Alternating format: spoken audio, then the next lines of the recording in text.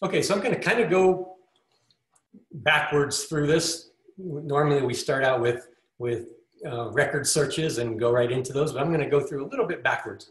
So one, if you're interested in joining Arctos, um, all you have to do is, is fill out one of these nice little request forms and it'll go to the people who are um, here to, to help.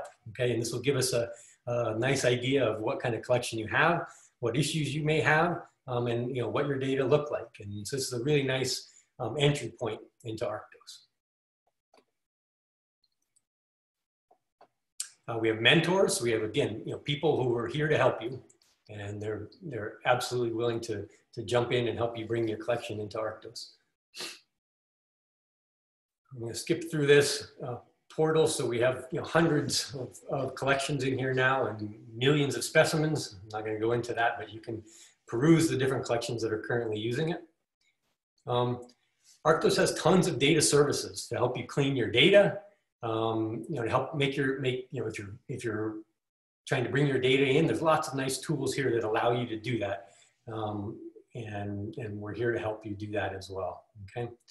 And there's also lots of tools um, for, for tracking usage, for example. So it's a really useful um, way to show um, you know, how we're being queried, how, how your, your specimens are being used. Uh, lots of good, good data in here as well.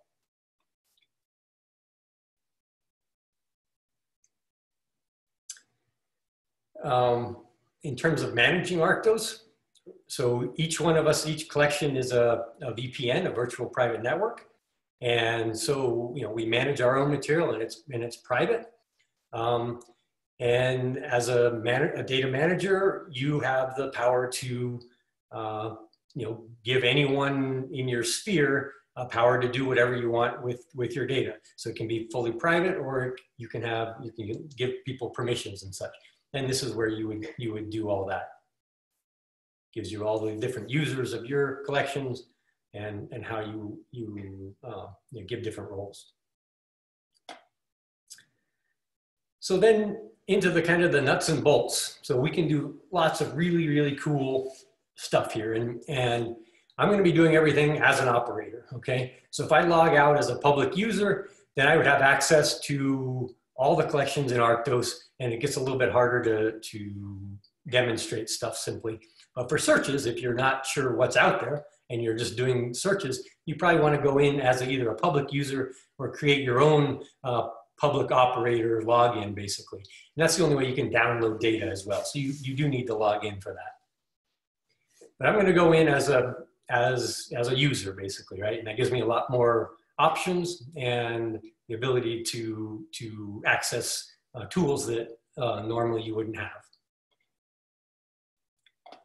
Okay, so we can, we can, you know, one, one of the really great things about Arctos is, is every different aspect of what we think of as a specimen record is linked and tied to every different every other aspect. So you know we can do things like search on on agents right? So if i if i come in as myself here and i can find myself and i can go to that agent and this gives me a way to to search people right? And i can view everything that that person has been able, you know, what, what they've contributed to Arctos, everything in Arctos that, that may be tied to that person, okay? Different name strings, um, you know, where they're from, all the different groups that they may be associated with, right? So you can tie agents to other agents, uh, you can tie agents to groups. So it's, it's a, a really nice way to, to deal with people as well. And then it also gives you, you can, you can access all the different lists of specimens that may be associated with, with that agent. Projects that they may be associated with, publications they're, they're in Arctos. So lots and lots of power.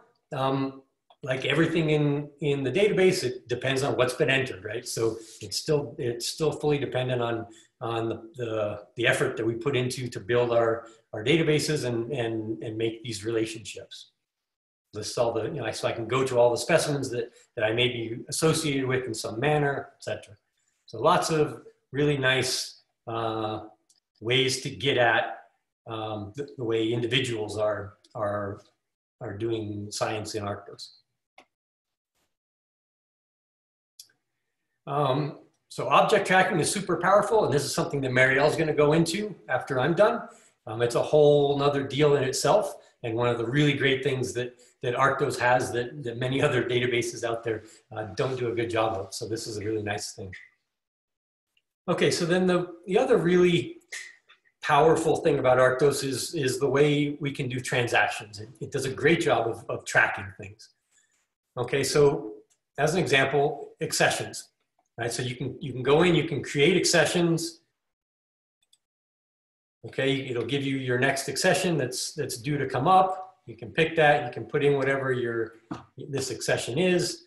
Um, there are different fields for, you know, where you can put in agents, uh, funding sources, agencies, uh, you name it. So lots of different agent picks and different um, you know, reasons why those agents might be um, might be someone you want to include on there. Um, you know what type of a, an accession this is. So yeah, just a nice uh, job to of of being able to organize your accession data.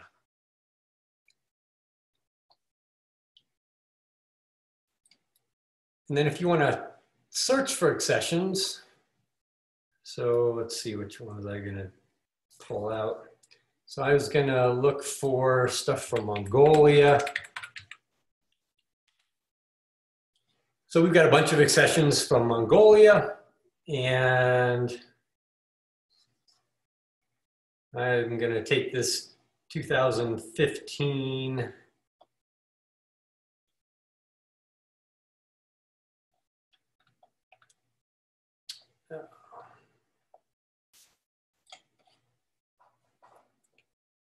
So one of the really nice things about accessions is you can also tie everything together with these accessions, right? So Arctos does a good job of having projects. We can tie different projects to an accession.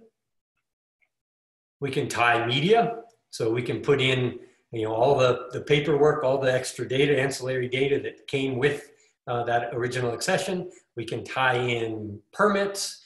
Um, so it's another, another nice place where, where you know, if, if you're just searching for um, material from one individual accession, this does a nice job of linking you to all the different potential uh, parts and pieces and legal materials, as well as all the specimens. So we can go to a specimen list, we can pull all the specimens that are in that accession, uh, we, we can um, go ahead and, and map it, right? There are really great mapping capabilities of, of Arctos.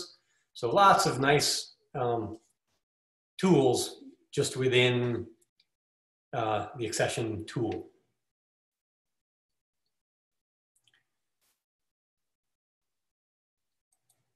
Same thing for loans, right? You can pull up, you can, you can make loans really nicely. Um, gives you a list of, of all different types of loans that you can add in there. It's very, very simple. Again, it gives you your next consecutive loan number it's just an easy way to, to track things. Okay, I want to find another loan.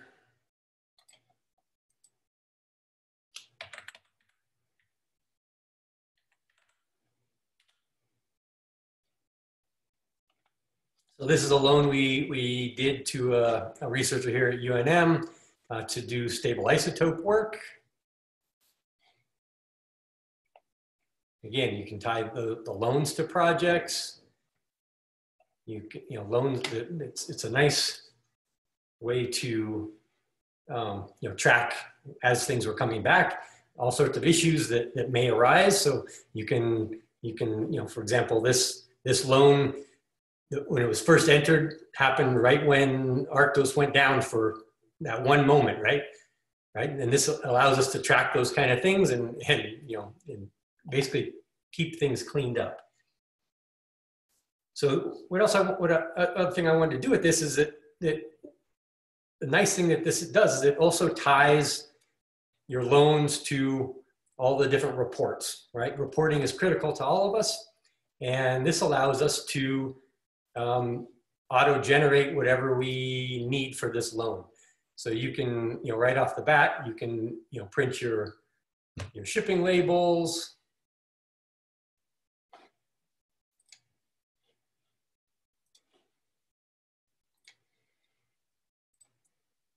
you can go in, you can print any of the, the reports that are out there, right? So if you want your, um, let's see, we could do our invoice.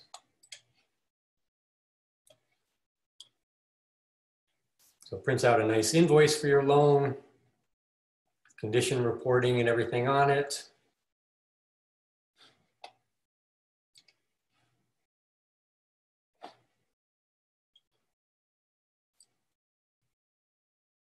We could, what else do we want to do on there? Invoice, no, that's probably good. So the, the idea is that, you know, any printing deals that you need to do, uh, you can go directly from, from your loans as well. Um, it has good shipping information to track your shipments, whether you need, and if you need to include uh, things like permits and such on there, it's all trackable on the loan section. And then permits, right? So we've just started doing a better job of, of linking, tracking our permits, okay? So you can easily create permits here. It's super, super fast. You just type, type in whatever identifying number you want for your permit. Um, it's got a drop down to, to give you, you know, whatever, whatever type of permit that might be, right? So very easy to quickly uh, do this. An issued by, issued to agent gives you, you know, who it's from, um, who it's to, and then expiration date and such. And Arctos will give you notifications. You know, once you put in an expiration date in there, Arctos will send a contact person saying this, you know, this permit is just about up, for example. Okay. And if we want to search for a permit, so we could search for permits you know, on, on a person or a type. So, you know, I could search for, for CITES permits and it'll pull up all the CITES permits that are in there, right? I don't want to see everybody's CITES permits, but um, if I wanted to, I could, I could, you know, or I could, you know, put someone else's, I could put, you know, just my stuff in there. Or I don't need to put anything, I can just put issue two. So maybe I'll put uh, Cook, I'll put Joe Cook in there. And this will pull up all of Joe Cook's permits. And another thing that's cool is you can, so you can, you can track these things and you can track, okay, this is a renewal of this other permit. So it's a, yeah, it's a, another nice kind of clearinghouse for all your legal documents as well. It doesn't have to just be permits. You can put some other stuff in there as well. So nice.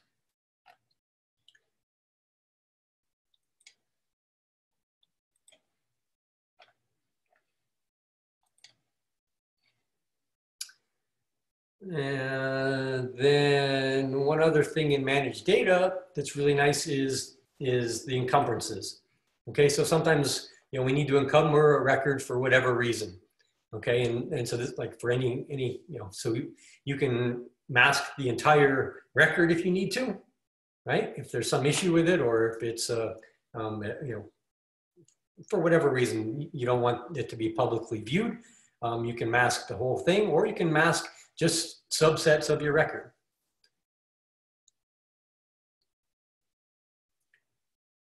And, or you can also just put things like usage restrictions, things to give you a, a flag as to whether or not you, um, you know, you want to loan this material or, or whatever.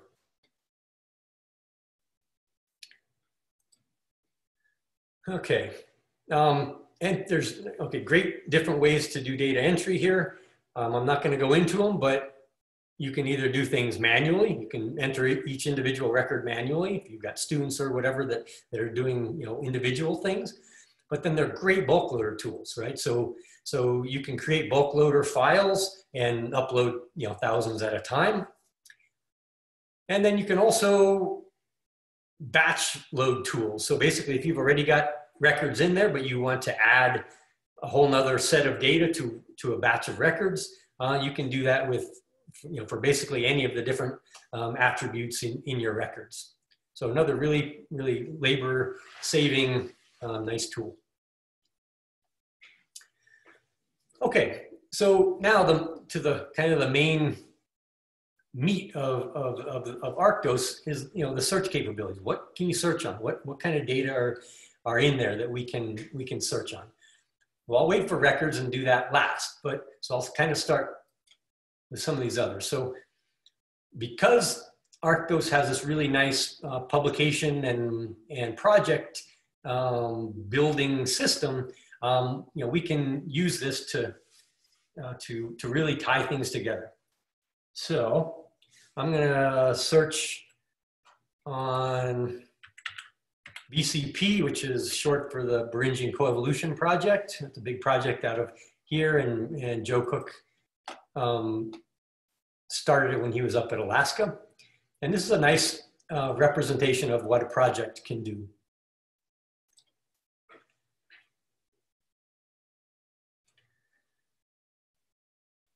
So it, it has all the critical agents that are associated with that project, including the sponsor, which is nice. You can, you can use this to, to track um, funding sources and, and provide data to sources, to, to your funding sources. Um, it just has a, a brief description. It, you can tie any publications that you want to tie to your projects. It lists all the different uh, records that are part of that project, as well as specimens that were contributed to that project, right? It could be from us, but they could be from some other institution that, that provided material for this project. Doesn't matter. Lots of different projects that contributed and projects that used these materials. Also is a place where the media that's associated with, with that project can also be found in one single place. So again, just a place to, to put everything and tie everything together in, in one useful uh, point and click summary area.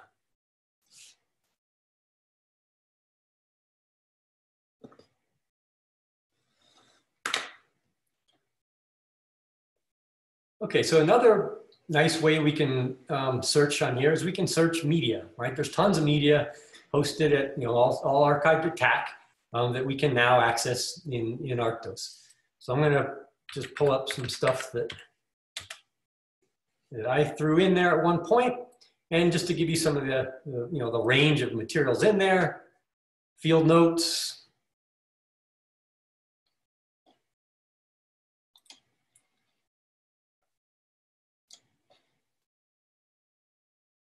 pelt tag data. So, you know, from, you know, this is from New Mexico Department of Game and Fish. So basically any kind of, of paperwork or anything that you want to include um, is easily stuck in here and linked back to your specimens and fully searchable.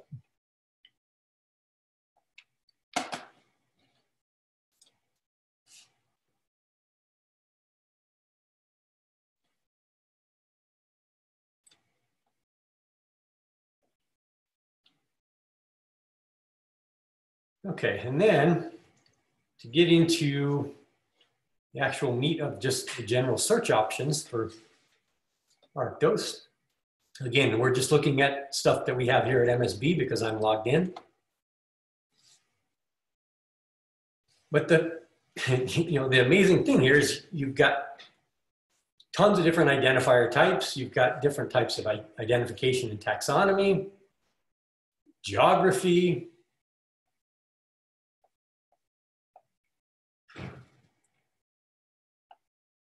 date collector information, part information, usage, usage fields, media fields, relationships, curatorial. So there's this massive amount of, of potential areas where you can, you can search. So basically any combination you can come up with, you can basically do that. So you can basically filter your results um, in any way that you would, you would like to.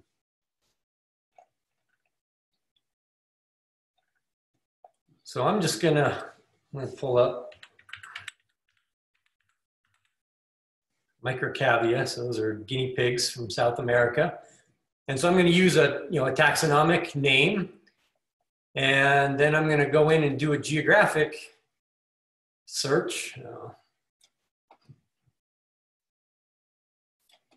using a bounding box.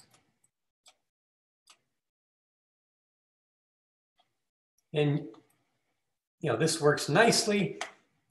The only drawback is it, it's using stuff that's, that's georeferenced.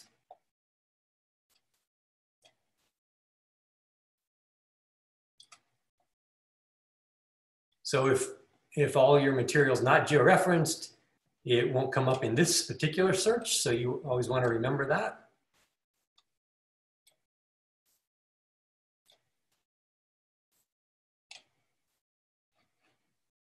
Okay, so we'll try that.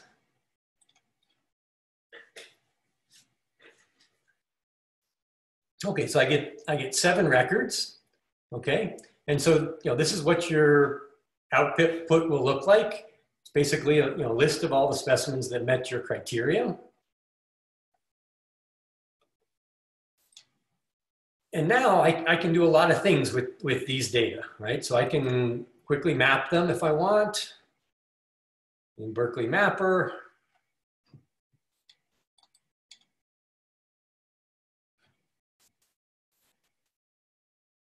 I can add more data fields. So I've got some there, but maybe I need more information than what is, what is there. So I can now, you know, add or subtract any number of data fields. It slows it down the more um, of these that you select, but um, for all intents and purposes, it, you know, you, you'll get what you need if you if you want to use this this uh, this you know this, host of, of different attributes.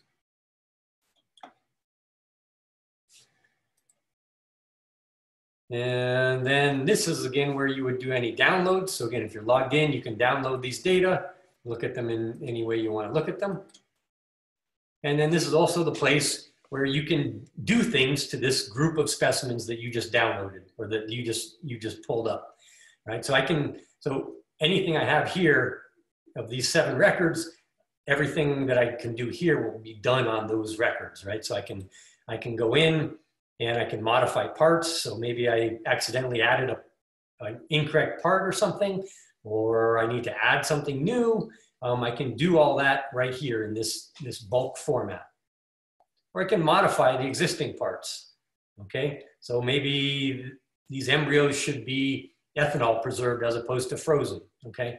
So I can do all that in this, in this system right here. Or I can simply just get rid of parts.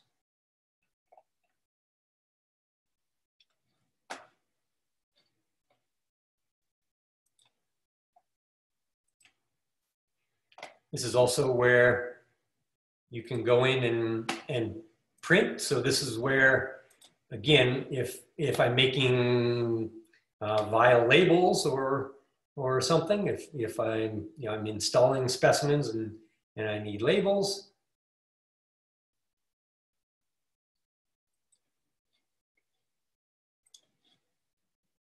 you can just put them like that and then print your labels right from there. So it's pretty clean and easy.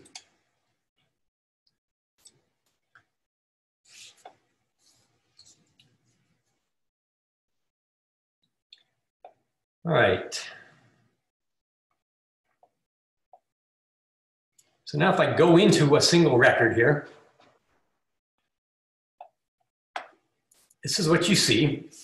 And within a single record, there are so many options to then go to the next step, right? So we can now search taxonomy, right? So Arctos uses this, you know, this global name system where you can, you can choose your own taxo taxonomy basically. So we have Arctos taxonomy, but then you've also got the, the taxonomy from Catalog of Life, Freebase, GBIF. So the idea being there's, there are all these different potential uh, taxonomic systems that, that are available to you when you're in here.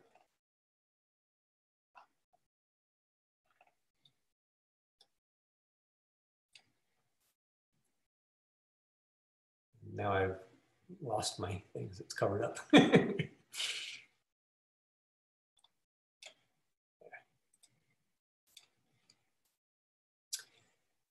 um, so, in, and then you can go into your identifications. And what's really nice here is that it, it keeps all of your existing identifications, right? So, so when you're re-IDing a, a, an individual, you of course want to keep the history, right? You want to know who called it what prior to this moment, and you want to know what methods they may have used, right? Did they, were they looking at morphology? Were, were they using molecular data? Um, is this a, a, type specimen? Whatever. So these are the kind of things that, that you can track here.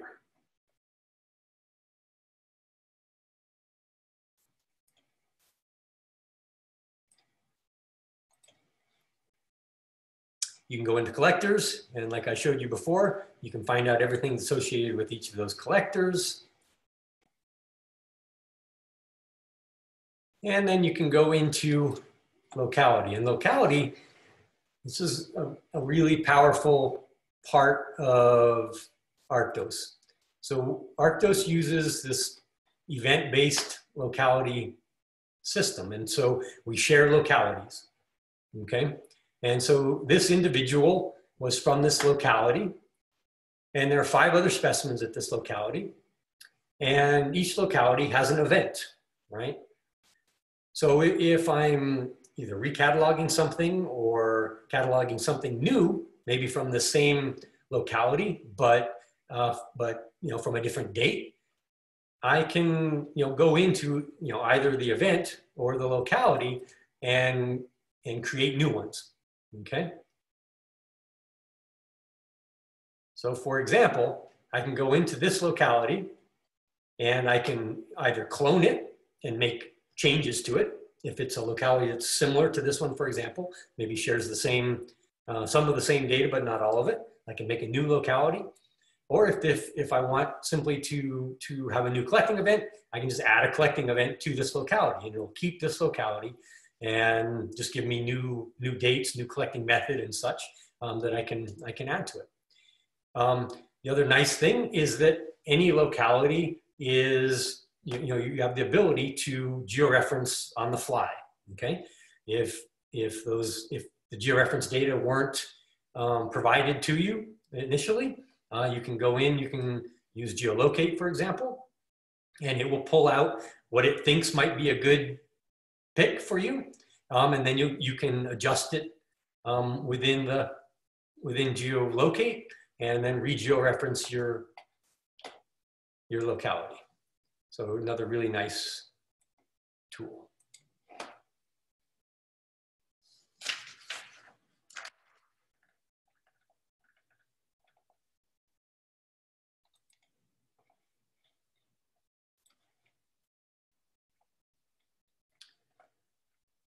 All right.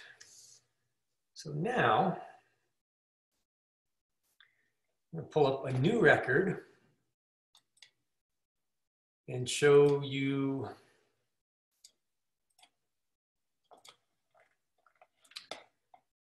places where we have multiple collecting events. So the, the record I just showed you had a single collecting event, right? A lot of us are now doing um, work that may entail um, having multiple events for the same individual.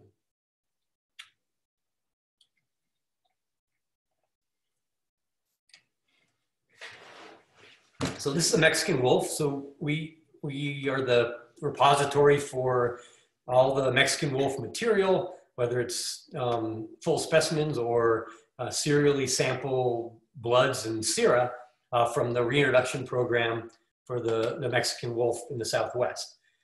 And so that means we're getting continuous samples from the same individuals. You know, maybe that individual will die at some point and we will have the full specimen here. Um, but until that time, we'll have a series of, of, of other samples from the same animal. And so Arctos allows us to, to track this, right? So you know, we give each individual sample a specific number when it comes in, and that specific set of samples is tied to a specific collecting event, right? So we have multiple collecting events.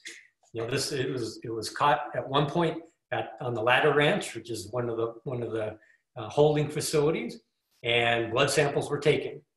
Okay. At another time, this animal was released.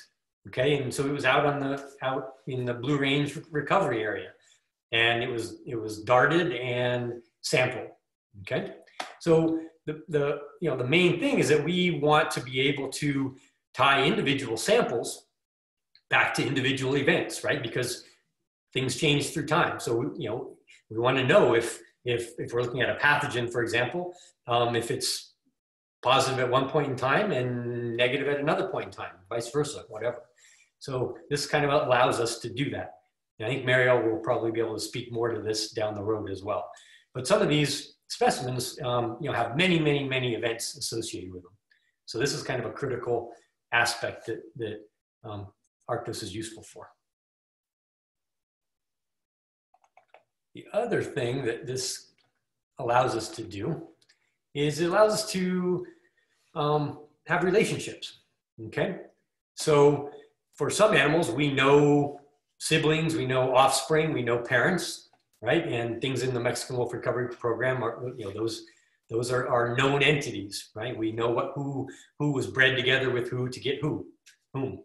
And so this allows us to toggle back and forth between offspring or parents or whatever, any type of relationship that, that you can think of, um, Arctos can make those, those ties, and that's super critical.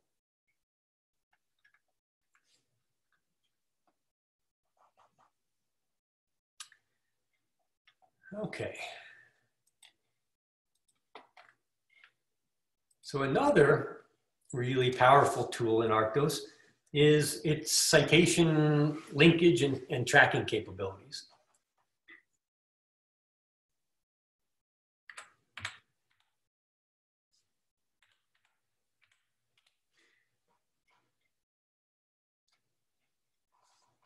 Okay, so this is a, a, a shrew flat-skulled shrew from Russia.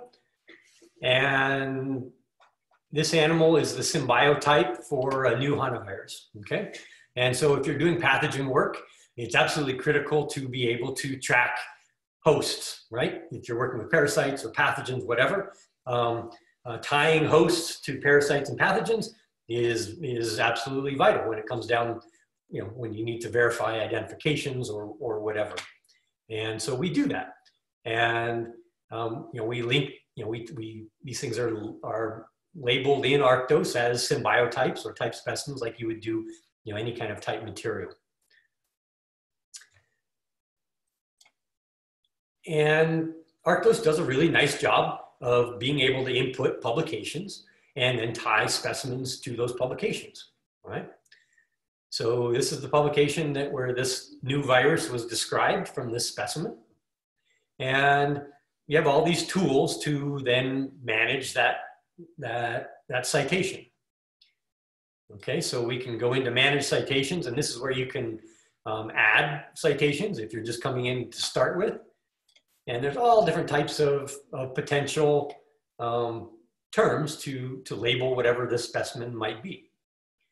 And you know where it is and, and if this is the new identification, you know, lots of metadata associated with, with the specimens that are, that are linked to this publication. And this just allows you to do that. Okay.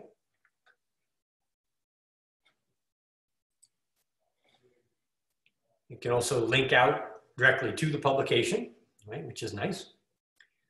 You can cross-reference, see what other papers have cited this paper, which is really useful for, for, for our own use as to you know, how these, the science is extended. And then we can go into these specimens that are in there and we can do some other stuff. So if we look at this guy, so this now allows us to really show the power of Arctos in the way that it links out to outside databases, right?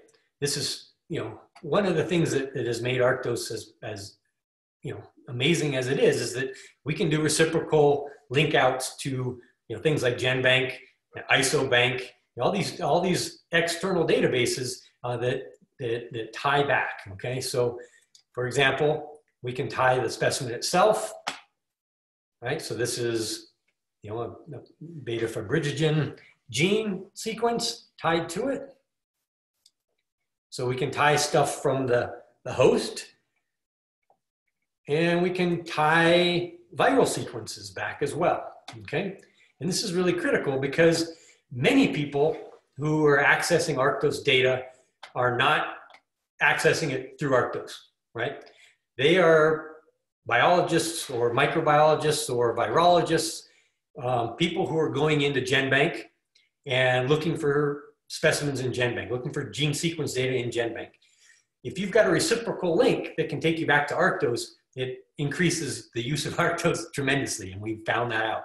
And so we can do that, right? So it's got this link out here. So people coming into uh, GenBank who have never heard of Arctos before can see where this comes from, and they can they can go back to the original specimen, and and that's good quality science, right? Being able to tie back to the original specimens. All right. So there's that. Then the other interesting thing we can do here is we can go between collections, okay? So we've got um, different collections, whether it's outside of MSB or within MSB, that have specimens that are related to each other. Okay, so this is a this is a uh, flea that was collected from that host, and this is the record for that animal. Okay, so it's this ability to go back and forth and tie things together that makes it so powerful. We can go, we can link out to GBIF Okay.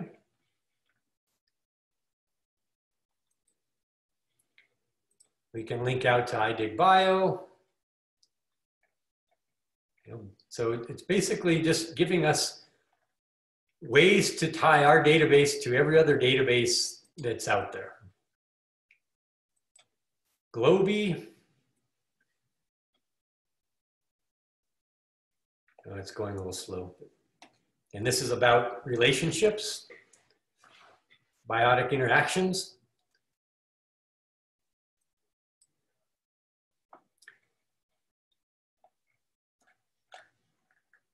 All right. How are we doing time-wise? I'm going long, aren't I, Emily? Yeah, we about have about 15 minutes. All right. Okay, I'm gonna speed up then real fast.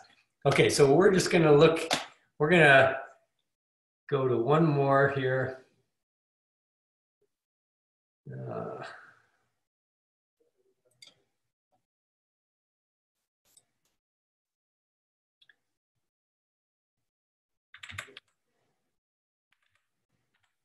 so there's lots of media that we can link to.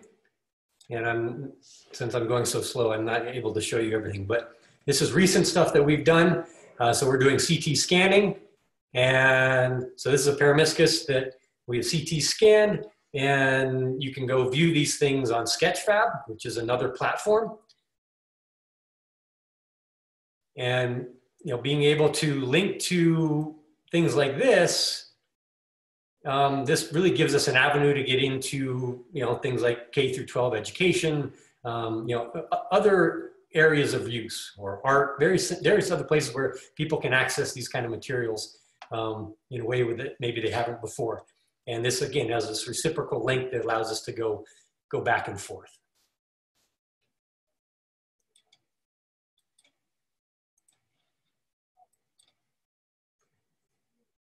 And then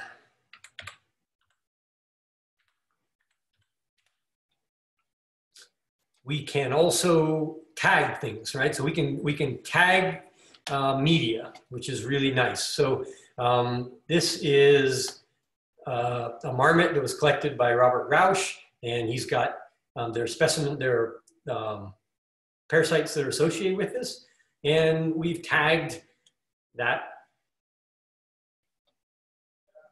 piece of media so that we know, okay, this Rausch number here relates back to MSB you know, 136507. So again, the ability to tie other things to each other is, is really powerful. Okay, I, I got more, but I don't have time. So I will hand it off to Mariel, who will give an overview on object tracking, because that's another super, super powerful aspect of Arctos. Okay, thank you, Jon. Um, just want to refer everybody, in case we've run out of time, um, in the original resources that Emily provided. Thanks, Jon. It would help if I unmute. Um, um, I'd just like to point every, out, out to everybody that we do have a separate webinar on object tracking. And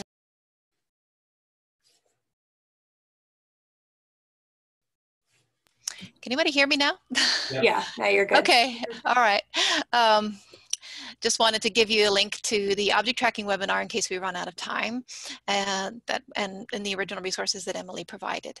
So um, obviously I can't do a full full justice to object tracking uh, in the amount of time, but I, I do think it's really worth um, pointing out uh, that, let me go here. Um,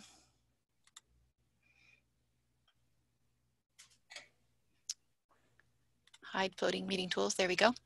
That um, object tracking essentially works in Arctos as a a separate but uh, parallel database to the cataloged record system or the or the catalog um, database.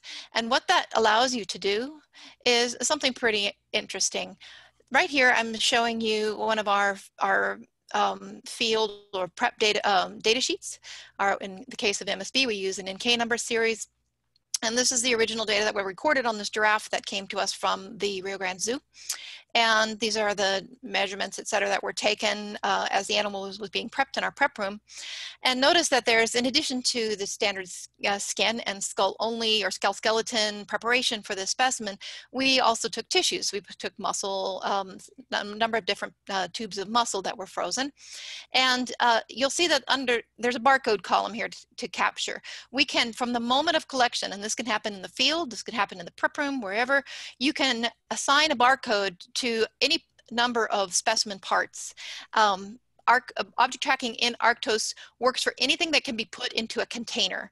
And so if you can put something in a container, a piece of muscle or a, a, skin on a shelf or a skull in a vial, then you can assign a barcode to it and you can put it in a location and you can track its location. And this can happen before the organism, the specimen is cataloged. So from the moment of collection, by assigning these barcodes, you can start tracking the positions, the location, and the history of a specimen. So this giraffe, these giraffe tissues were barcoded at um, during collection. They were put in the freezer. They were brought up to the Division of Genomic Resources. And uh, at the time of cataloging, these barcodes then would be entered with the rest of the data in the catalog record. So if you go back to um, the original Arctos record, or once it's been cataloged for this giraffe, you'll see that, well, it's got a couple of different identifications, the original one we got from the zoo, and then later confirmation by Jon. You can see that has media associated with it, and that media is the um, scan of the uh, original NK page that came with, uh, that we, that we um, entered data on. Got various prepared We've got the original zoo number, the global animal identifier that links to the international zoo databases, etc. And we also have um, down to the bottom here, I hope I'm not scrolling too fast, the list of parts that are associated with a specimen. And now you can see that those muscle parts that you saw on the original data sheet and their barcodes now are captured here with the specimen record, and they show the part location of where that particular uh, sample is located. In this case, it's in uh, the Division of Genomic Re Resources, in freezer, the minus 80 freezer room, in freezer 7, position 20, freezer rack and ultimately in a freezer box in position 84. And we have a label and a barcode associated with that uh, muscle sample. And the label we capture in the Genomic Resources Division separately from the catalog data. So we would hope that this label information corresponds, in this case, NK301854, we would hope it corresponds to the same identifier that was entered at the time of cataloging. And if it does, then yay, everything's good because that's a double check. If something, if the wrong barcode were entered in a, with a sample, or if we, if something were mistranscribed, uh, we would be able to catch the, the that discrepancy and uh, resolve it. So object tracking again can occur from the moment of collection. So let me go up here at the top of the specimen record. You can also go to a tab that takes you to part location. So I say I want to know where all the parts were for this giraffe. Um, and I want to actually see them. Now I've entered into our object tracking database. And this shows me everything associated with this giraffe, uh, the genomic resources samples, um, one in, uh, they're all in the same freezer in various positions. And, uh, and then we also have skin, skull, skull, and skeleton material that isn't um, barcoded at the moment, but there are collections uh, that do barcode and assign um, object tracking locations to their traditional materials such as skin, skull, and skeletal materials. I know that UAM does this, for example. Um, and you can actually scan a skin into a drawer in a cabinet, in a range, or a skull. You can even track your skeletal material as it's coming in from the field into your IPM freezers, out of IPM into your prep room, into the, your bug colony for cleaning, etc. So you can track this entire process even before the organism is cataloged, and you have a history of that. Let's go to this um, particular cryovial. If I want to see the history of this cryovial, will tell me that it was originally scanned into a freezer box in 2019, May. But if I were to then, if my freezer went down, if freezer seven went down and I needed to move the entire rack worth of uh, freezers, uh, of samples or the entire, all of the racks in this freezer to a new um, freezer and I scanned that in, um, one scan of the rack or one scan of all the freezer contents to a different place would track all of the, sub, the samples that were included and would provide a history that everything got moved on this date by me. And uh, this is a really powerful tool for me as a, a genomics collection manager to be able to uh, not only track frozen tissue samples separately on my own, but also then link to the various different divisions that are using the object tracking systems. And for me, this is important because I not only manage mammals, but I'm managing birds and parasites and fish and herps. And I can, uh, through this system, this object tracking system, be able to, to um, archive and track locations of and manage all of these different samples from different collections using the single system.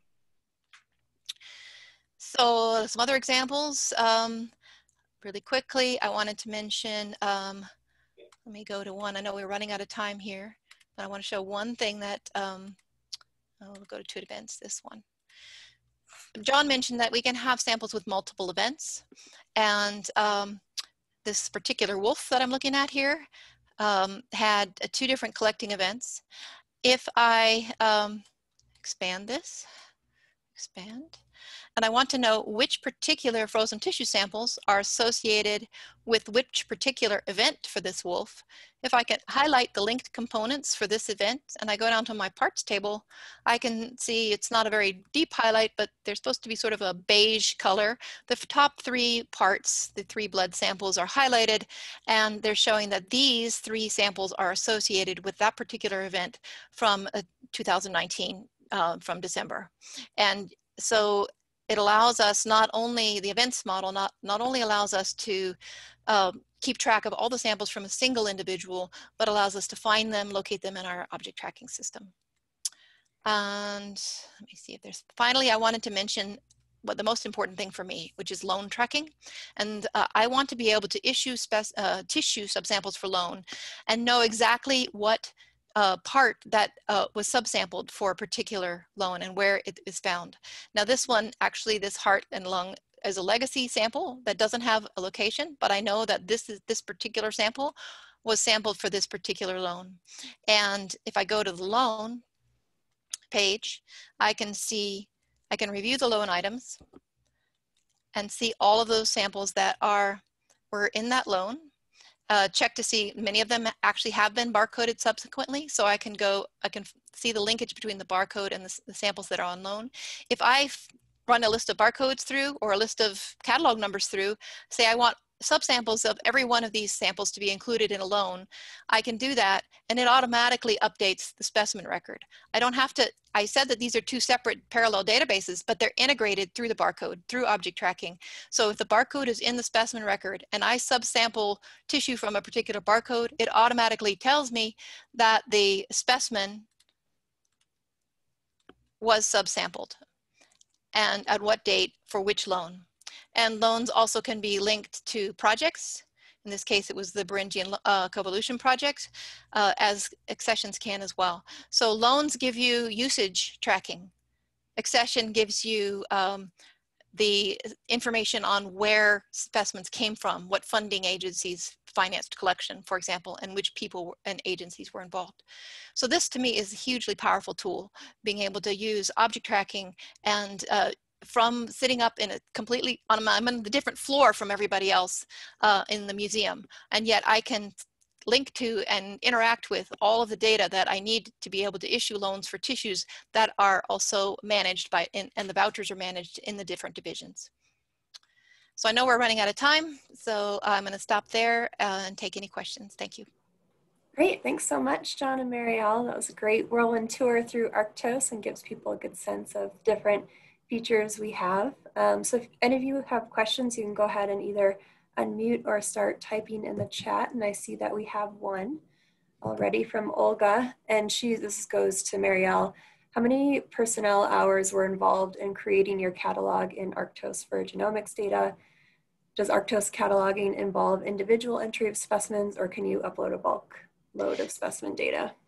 We can absolutely bulk load data and we can do this for legacy material uh, coming in. So that's typically how we bring in new collections. And, um, but for new accessions, say Jon goes out in the field and he collect, collects a bunch of, of Peromyscus and brings them back to the museum. We have a process where those are entered, that data is entered um, as individual records by students, but they can also be entered as bulk load files. Really, we have either option. And because um, I as using, I'm using object tracking in genomic resources, I can go ahead and process the samples, record the barcodes, inventory the, the tissue samples and scan them into boxes. And as soon as the cataloging is done by the different divisions, in this case mammals catalogs them by whatever means, that immediately links to the position of those samples in the genomic resources division. So I can catalog them myself or Jon can catalog them or some other person can catalog them. It doesn't matter. We have lots of different ways of doing that, but it is, it does provide a division division of labor and um, allows the different divisions to, to maintain control of their own data, and yet I can still process loans and find the specimens, and it's totally transparent for the different collections and the collection managers who are involved. Great, thanks. Any other questions before we wrap up?